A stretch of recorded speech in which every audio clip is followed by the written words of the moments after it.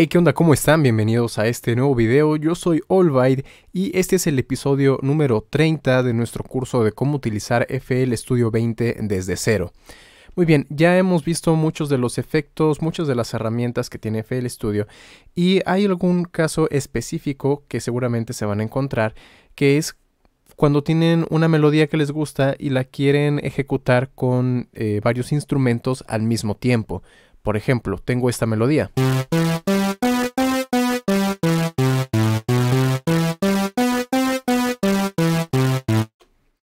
Tengo tres sonidos. Si lo que quiero es que se toquen al mismo tiempo, lo que normalmente hacemos es eh, tomar, por ejemplo, esta melodía con control C para copiar, luego selecciono los otros canales, control V, control V para pegarlo y le damos play.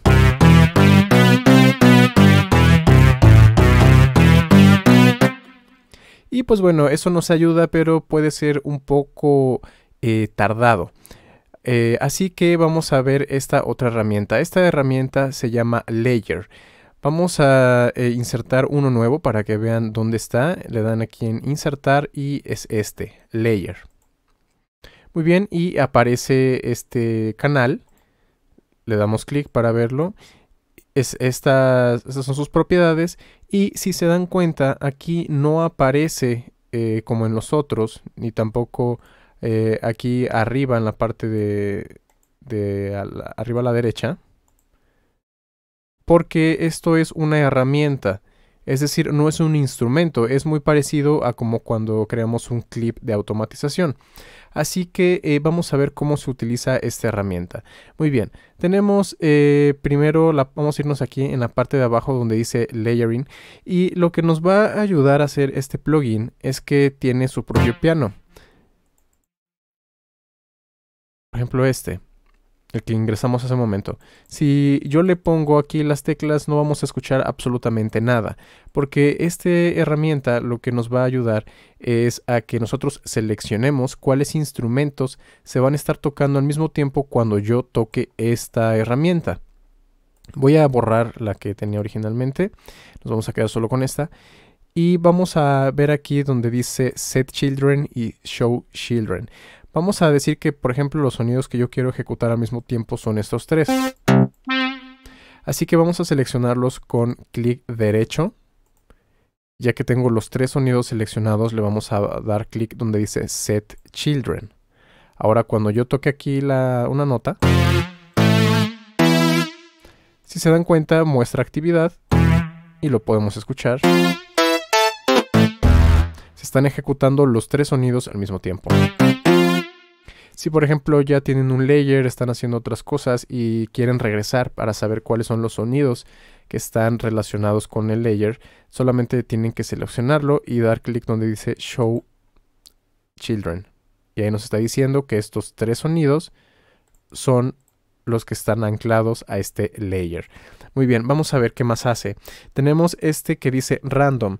El random lo que va a hacer es que de entre los children que tenemos asociados a este layer, va a, cada vez que oprimamos la nota, va a seleccionar uno para reproducir el sonido. Por ejemplo, ahí ah, ponemos random.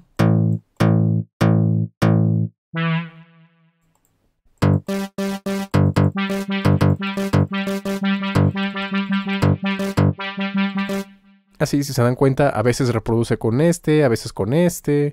Eh, y pues está completamente al azar. Esto nos puede ayudar si de repente tenemos eh, un layer con sonidos muy parecidos, pero queremos que pues haya un poco de, variedad eh, cuando lo estamos reproduciendo la melodía. Y eso le puede dar más vida a la canción. Luego tenemos este que dice crossfade. Cuando lo activamos ya podemos mover esta perilla. Lo que va a hacer es dividir los children en, los va a asignar, digamos, a una porción de esta perilla para que, por ejemplo, ahí solamente estamos escuchando al primer children. Conforme lo vamos moviendo,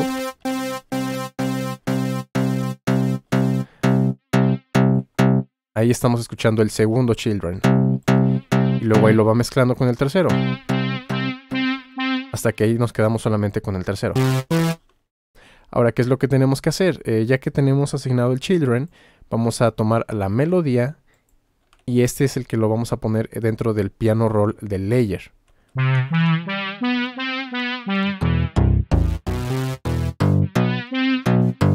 Aquí como pueden darse cuenta, esta perilla se podría automatizar, por ejemplo, para seleccionar en alguna parte de la canción cuál es el layer que queremos que suene.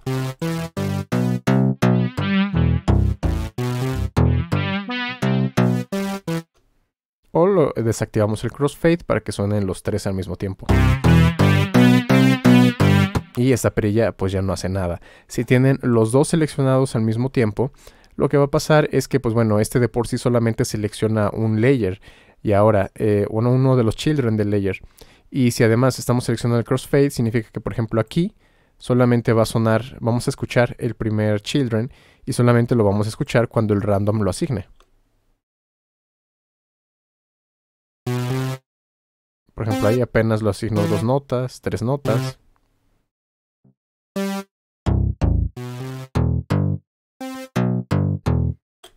Y pues bueno, eh, nos puede ayudar a darle un poco de aleatoriedad a nuestro sonido.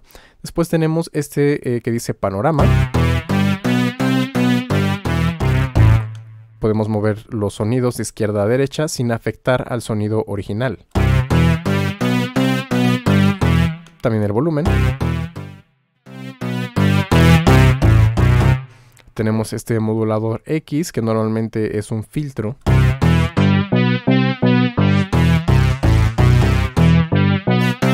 y este modulador Y que viene siendo la resonancia.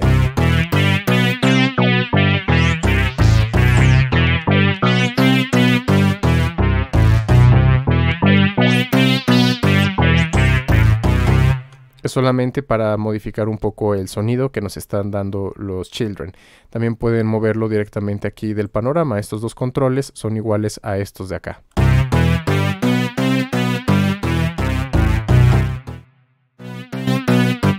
Y luego tenemos este el pitch con el que vamos a poder mover el tono o arriba abajo de los children sin afectar los sonidos originales.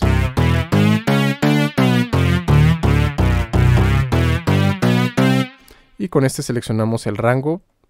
Podemos seleccionar desde un semitono hasta 48 semitonos.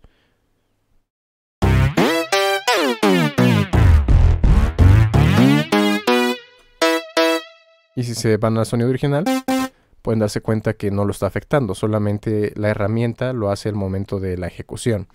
Eh, aquí pues bueno, podemos tocar las notas como una vista previa o si damos clic derecho podemos cambiar la nota raíz. Y luego este es para la afinación eh, pues precisa, lo cual nos deja subir un semitono hacia arriba y un semitono hacia abajo. Si es que alguno de los sonidos eh, llega a sonar eh, pues un poquito fuera de escala. Y con esto, pues básicamente es el layer. Tenemos acá también otras opciones. son cuatro opciones. Por ejemplo, este dice Split Children. Lo que va a hacer es que la cantidad de children que haya los va a asignar a una tecla. Por ejemplo, aquí yo primo ya no se oye nada porque lo está asignando a partir de la nota raíz.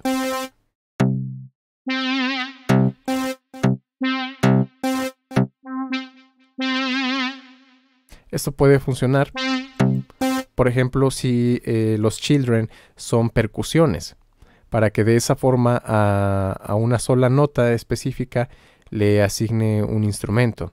Con Reset Children regresamos como estábamos. Luego tenemos este que dice Group Children, que lo que va a hacer es que los children del layer los va a eh, poder asignar aquí a un grupo, ¿no? Por ejemplo, aquí le podemos poner eh, lead y creo un nuevo grupo que se llama lead, que contiene a todos los sonidos del layer. O también incluso podemos borrar eh, lo que esté asignado como children de layer. Por ejemplo, le que sí, tengan cuidado porque esto no se puede deshacer. Y por ejemplo aquí estoy borrando los sonidos que pertenecían a ese layer. Y ahora pues bueno, si le doy show, ya no existen los, los children. Por eso ya doy clic y no hay eh, pues ningún sonido. Vamos a ver, por ejemplo, eh,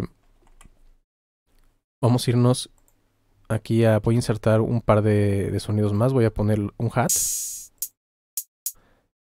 Y voy a poner, eh, bueno, nada más con estos. Voy a borrar la melodía. Y voy a hacer estos tres sonidos. Voy a hacer el children de, de este layer. Así que vamos a seleccionarlo, clic derecho, set children. Y cuando yo toco el layer, está cambiando el tono y está eh, reproduciendo los tres sonidos al mismo tiempo. Ahora, si yo me voy a Split Children, ahora, básicamente he asignado a una nota un sonido. Y así yo puedo hacer, por ejemplo, algo como esto.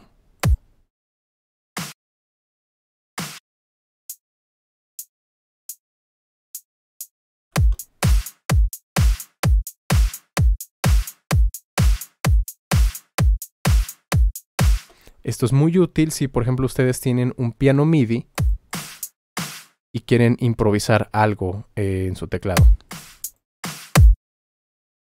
Y pues bueno, esas son básicamente todas las funciones que tiene el layer eh, y lo pueden utilizar como ya vieron para percusiones, para sonidos y pues bueno, si de todas formas quieren tener mucha eh, mayor flexibilidad, pues lo pueden hacer de todas formas con, la, con el método pues simple y directo que es copiar la melodía a cada uno de, de los canales.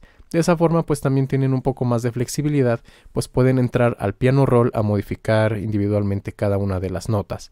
Pero bueno, eso sería todo por este video, espero que les haya gustado, espero que hayan aprendido cómo se utiliza el Fruity Layer y cuáles son eh, las posibilidades que pueden hacer con este plugin. Si fue así, no olvides dejarme un like, compartirlo, suscríbete y activa también la campana de notificaciones para que no te pierdas ninguno de los próximos episodios. Todas mis redes sociales están aquí abajo en la descripción y nos vemos en la próxima.